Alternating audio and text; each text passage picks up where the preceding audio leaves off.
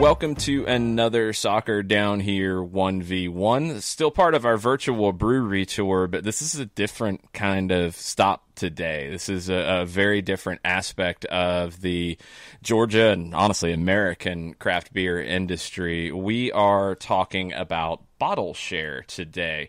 If you haven't heard about Bottle Share, you're going to learn a lot about a really cool nonprofit that's doing a lot to benefit people in the craft beer and wine and cider industries.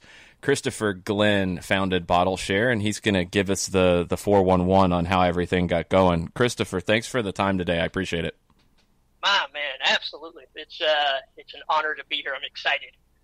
Give us the the rundown on how everything got started. I know it's a pretty unique story that, that led you to start Bottle Share and, and try to help the an industry that's dear to your heart. Yeah, for sure. So, first off, man, I, I want to say thank you so much for uh, taking the time to have me on the show today. I greatly appreciate it. And any opportunity that I have to to spread awareness and share the word and and um, you know, create some some awareness around what we're trying to do is a huge uh, uh, step in the right direction. So I greatly appreciate it. Um, man, the story, holy smokes! It, it, uh, January sixth of 2018, uh, I was the bar manager for a local brewery in Kennesaw, Georgia, called uh, Dry County Brewing Company.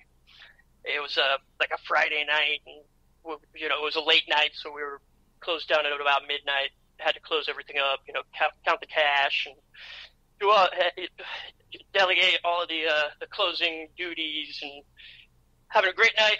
Made it through. I was super hungry, so I stopped off at another place that was still open. Got some uh, some chicken wings to go, and hopped in hopped in my jeep.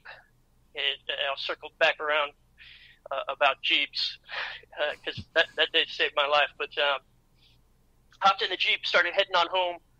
Got off the highway. I was sitting at the light on the off ramp, going to turn left to cross back over the highway to get, get to my house, which is just about a mile away from there. And uh, I was just sitting there waiting for the light to turn green. And the next thing I know, uh, I'm, I'm coming to there's a massive ringing in my head. It feels like a bomb went off inside the Jeep. I have no idea what happened. I feel like I came out of a washing machine. I couldn't tell up from down, uh, up from down, and left right. I, I stumbled out of the, the the Jeep itself. I still didn't understand what was happening. I was very confused, disoriented.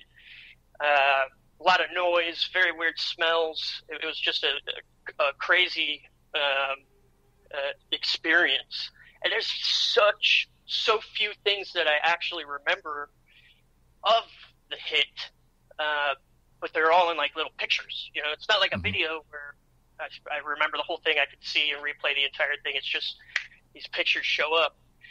Um, so all, it's the most that, that I can tell you really is calling 911. And I remember the guy had kind of fallen out of the the, his truck. It was a full size Chevy Silverado. He was drunk as hell. He passed out on the highway. It came flying on onto the on, uh, off ramp and hit me at about 60 miles an hour. Mm. And I wound up suffering from a, a really severe traumatic brain injury, uh, atrophy in three regions of my brain. Uh, essentially, that means my brain weighs less now than it did before the accident. It's kind of the easiest way to describe that. Uh, I was a veg man for like six months. Then for that full year, uh, it was also just an absolute battle of uh, what am I going to do with my life? You know, um, I, I'd always been so motivated and excited, you know, loving life.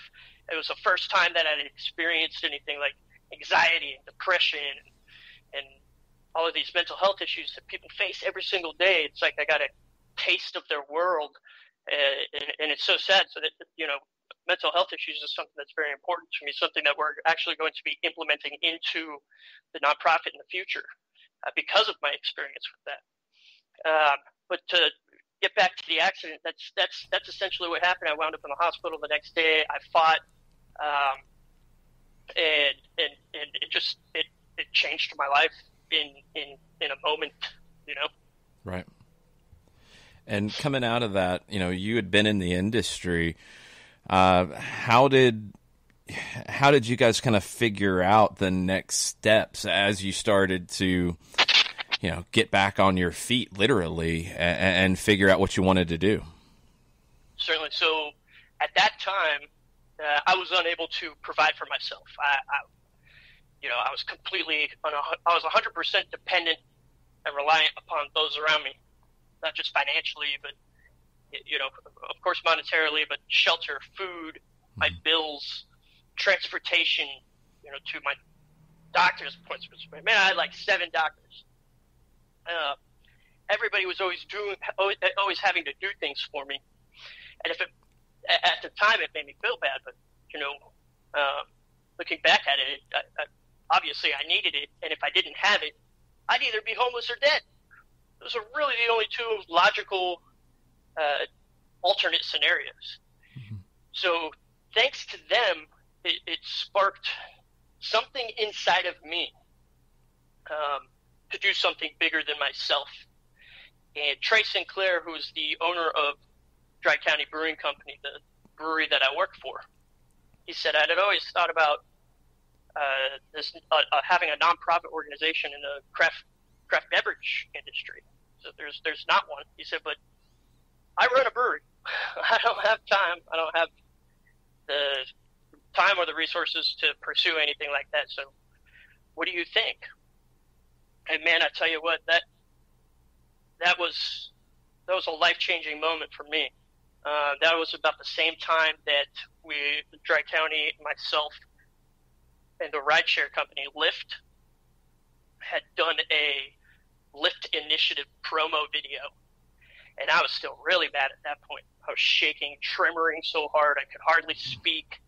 Uh, it was a very emotional experience for me. Once we were done, it, you see at the end of the video, Trey and I, you know, give each other a hug, and and I start bawling, uh, just because of the situation. But uh, man, I tell you what, I cried for so long after that. It's just a puddle, dude and and all of these things were happening at, at the same time. The Lyft Initiative video uh, garnered so much positive response from so many people. I think we got like sixty something thousand views and hundreds of thousands of uh, engagement, and uh, uh, it, it was all positive. You know, it was the first time that I had felt any positivity in my life since since the wreck, and that had been coming up on a year. And I took, you know, I, I it, was it was like a recharging of my batteries, but my batteries became bigger, better, stronger, and, and last longer because I now have my purpose in life. Right, for mm-hmm. years, for years and years, I, I I was always searching for my purpose, but I found that it's actually your purpose that finds you. You just have to be open to it. You have to see the signs. You have to recognize them, and you have to be reliant upon them and believe that they're guiding you in the right direction and on the right path. And and I tell you what, it, I mean, these signs just keep popping up, and, and, and I just keep marching forward, and it's it's blindly uh, marching forward, and just knowing that what we're doing is the right thing, and and uh, it's it, it's it's out of this world. I couldn't imagine uh, living a happier life than doing something like this, and, and giving back to others because so many people gave to me in my time of need. When you started to kind of narrow down like what the mission would be, and let's just start with the name. Let's start with Bottle Share. You know, how did that idea come up to call it Bottle Share and nail down what part of good you wanted to bring into the world? Certainly. Uh, so Trey had called it the Bottle Share the bottle share, like three separate words. And so that's what I went with. So the original logo, our OG logo, which you know, which is funny because we just we have a like a, a, a flash sale going on right now with the original logo on our T-shirt. Um, it's just for a limited time, and then 100% of those proceeds are going to be donated back into the Believe in Beer Relief Fund. Uh, so we're getting a bunch of those, which is awesome.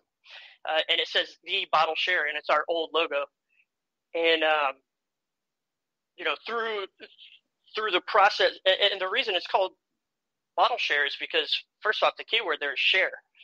Uh, secondly, in the craft beverage industry, obviously, it's uh, a, a, a very unique part of the culture where people get together and everybody brings a different bottle and everybody's got their glass and you pass the bottles around and you share the beer and you have a good time and you meet new friends and and, and build better relationships with the ones that you do have. And it's it's awesome. You know it's a wonderful experience. And it really it really sh- uh, shines the light on what this community and what this industry is really all about. It's, it's brotherhood and it's it's camaraderie it's community. And um, and so bottle share was the perfect you know title uh, for what we were what we were trying to do uh, and the movement that we want to create. Um, so that made just perfect sense. And then once we started talking about the mission, um, at first, quite frankly, man, I didn't know what the hell the mission was. I, I didn't have a mission statement. Uh, all of this has everything that has happened is a result of just going out and doing. Uh, I tell people all the time, I still don't know what I'm doing, but I'm learning along the way, right? Uh, and, and, and it was the same situation with when we got Bottle started. It, the mission now is, you know, we are a, a fund generating and fund distribution 501c3 uh, corporation that is geared specifically toward the craft beverage industry. So when I say craft beverage, it's craft beer, wine, spirits. Okay. Um, and and and what we're doing is is we raise money so that when people experience extreme hardships outside of the workplace, preventing them from working and earning an income to provide them for to provide for themselves and their families, uh, that's where we step in. Uh, they what we want to do is is not just help them financially, uh, but provide hope in their lives as well through sharing our stories and the stories of, of others that have have benefited from bottle share. Um, so that's that's become our mission, and, and, and that's exactly what we're doing. That's an amazing organization. I mean, I worked in a nonprofit called Soccer in the Streets and, and did development, and I know how difficult you know it can be going about fundraising, going about a, a, marketing plan, and and like you said, I mean, just nailing down what your mission statement is. You know, I was the same way. I didn't know what a mission statement was for a nonprofit until you start having to define what you want to do, and and you guys are doing so much. How do how do people who do need help? What is the process for trying to get help from Bottle Share? Certainly. So we've we've made it so easy.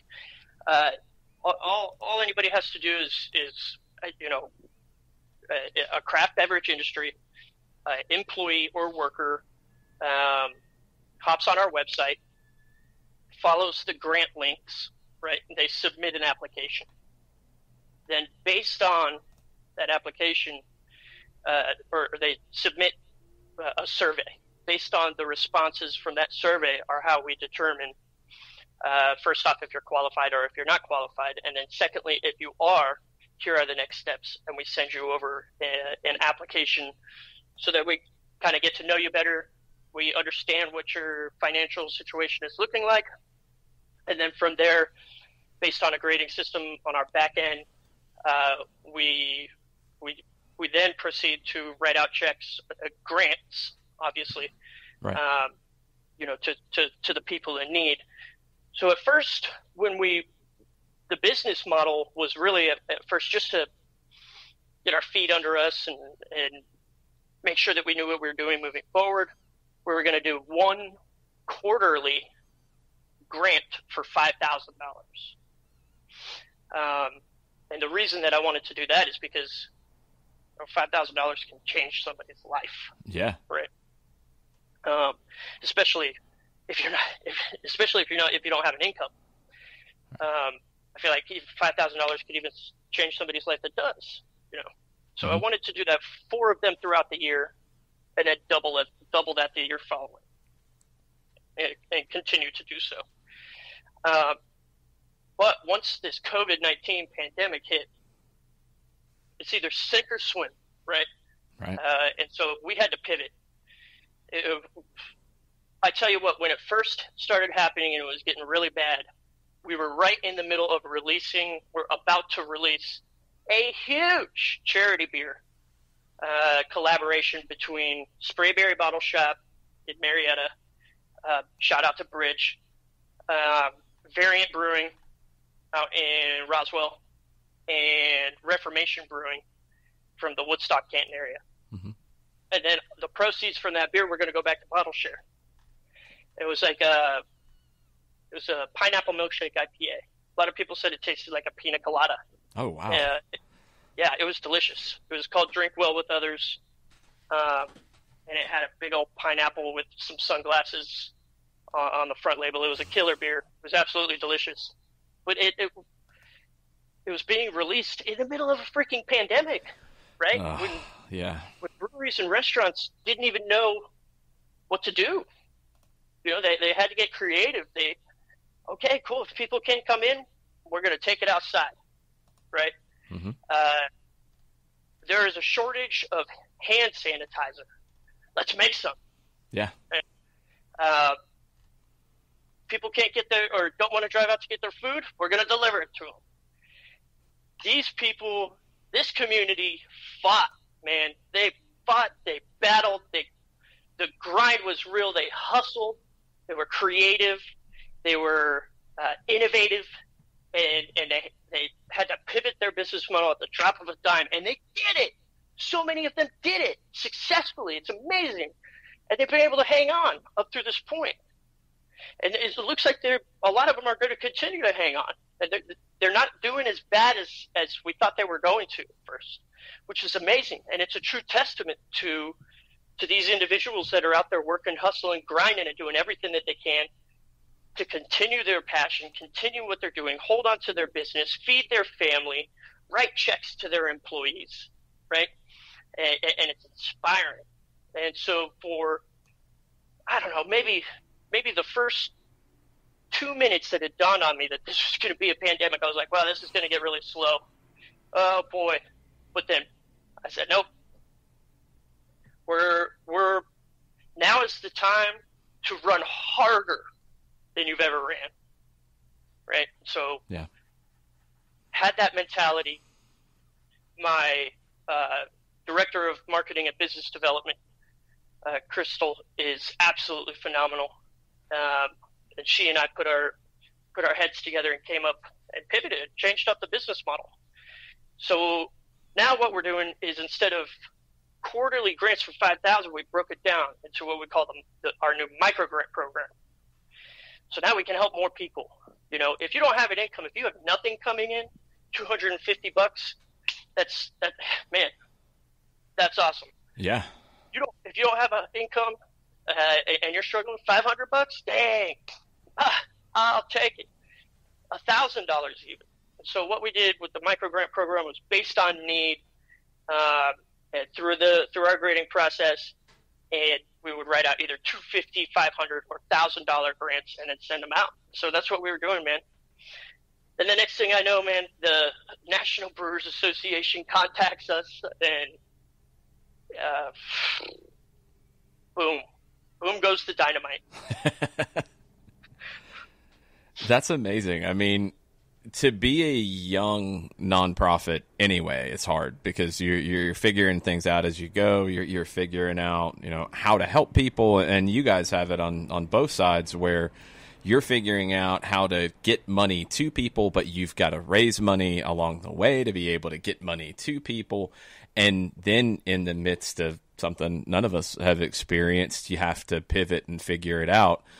Um, one thing that has blown me away doing these because this idea started uh, from Scott Flood and the Flood Project of doing soccer Yeah, down here shows. Yeah, Scott Scott's been awesome with us, and he's had to pivot because we talked about doing live soccer down here shows, talking soccer at breweries because the soccer community, the the, the craft beer community here in Georgia, there's so much overlap. There there's so much back and forth. It's, they're both based on community. There there's so much that they share, and when we couldn't do it because of this, and we had to find a way. It, it made sense to tell these stories about how different breweries are keeping people employed. About the, like you said, pivoting to making hand sanitizer, pivoting to you know offering to go sales, stuff that you would have never thought of before. What's the the one thing that maybe has surprised you the most during this that you know you're you're just proud of the work that you guys are doing and proud of the industry as a whole for helping the people in it such a good question. It, i think up until maybe uh, two days ago before this happened uh, you know I, I, could have rambled on for an hour and i still could yeah. But something just absolutely amazing happened and it was in I'll say it again, it's just an absolute true testament to this incredible community. We contacted one of the breweries that had, I mean, we, we received almost 800 applications for oh, wow. brewery assistance through this. And we contacted one of the breweries to let them know that they are qualified. Here's the next steps. They, this is, this is how cool this is. They, they emailed us back and said, we're in a much better place than we thought we were going to be. Uh, we're hanging on. It might be by a thread, but we're still hanging on, and things are looking good. Save this money that you would give to me and pass it over to somebody else that needs more help. That's awesome. Right. I mean, that, and that's one of the first responses that we got after sending out the email to notify breweries across the country that they've qualified for these grants. And for one of the very first replies, to be something like that that is profound to me, you know, and and that's what dude, that's that's what it's all about. That's that's that's the character of this community and why it's such a privilege and an honor to be able to do what I do, but in this industry, this specific industry. Um, running, I'm sure running a nonprofit in any any form or fashion for any industry, any community, whatever it is, you're just as passionate about it as I am. But damn, I, I just, I, I, I feel blessed. I feel lucky. I'm so thankful to be alive. You know, every day is the best day of my life, and and uh, I, I couldn't imagine uh, living a happier life. There's no way that I could ever do anything else. This is what I'm going to do until the day that I die. I always say that the only force that's strong enough uh, to stop me from continuing to pursue what I know bottle share is and will be is my final breath. And that's it. There's a lot of a lot of work to do right now, and people who are listening to this and learning about bottle share, how can they help? How can they make a donation? How can they get money to you to get to people who need it? Certainly. So any any craft beverage enthusiast across the country has the opportunity to donate through our website, which is www.thebottleshare.org. There's a donate button up top. Uh, you can do a one-time donation. You can go over to our Facebook page and, and make a donation through there. That even gives you the opportunity to donate to lock in like 10 bucks a month. Say, instead of giving us 100 bucks at once or five, 50 bucks at once, we, we would we would love to build a, a a a form of revenue through something like that, where it's just ten bucks a month. You know, mm-hmm. everybody throws in ten bucks a month. Um, so there's there's there's that way. That's that's that's a great way for the uh, craft beer enthusiasts to help. Also, talk about us, man. Share our stuff. Uh, let people know. It doesn't matter if you're in the in the brewing or in the beverage craft beverage community or not uh, you can always share. You can like, you can post, you can talk to people about us. Uh, the more awareness, that, that's to me, that's the most important thing. Is you know, there's there's a lot of people out there that don't know about us. They don't know who we are yet. And say somebody gets injured, or somebody gets sick, or somebody loses a spouse, you know, and this resource was there for them, but they just didn't know. I hate that. That's a missed opportunity. What's the worst kind of opportunity? Missed opportunity, right? And and, and I don't like that. So so the awareness, spreading the awareness is very important. Uh, breweries, we can do collaborations. We can do charity beers. Uh, we can get together, have big events. Uh, you know, obviously once the COVID situation has calmed down and we're allowed to gather together again. Um, there's also uh, what we call. And here's here's my thing. This, to me, this is the most important part of what we're trying to do monetarily. Is Bottle Share Collective. So Bottle Share Collective is the most important thing uh, to me right now. Period. And the reason being is because what we've just experienced, what we're currently still experiencing. I want to be as proactive as I possibly can. I don't want to be reactive. And unfortunately, we were forced into a position through this pandemic to where we had to be reactive. What's the most important thing here? Learning, learning from this experience. And so I want to learn from this experience. And that's why Bottle Share Collective is so important. So that in the future, if something like this ever does happen, or even down to a single employee, it doesn't even have to be a tragedy. We want to cover it all. And we want to have the funds ready and available to go right now, you know, at the drop of a dime. And that's why Bottle Share, uh, Bottle Share Collective is so important. So what it is, is it's a mutual aid initiative. For thousands of years, communities, small communities and pockets of, of communities across the world, across the globe, come together and they pile their money together so that in the event that somebody experiences something horrible or tragic and it costs money, it's there. It's readily available. That's what Bottle Share Collective is. So it's $50 a month to become a member of Bottle Share Collective.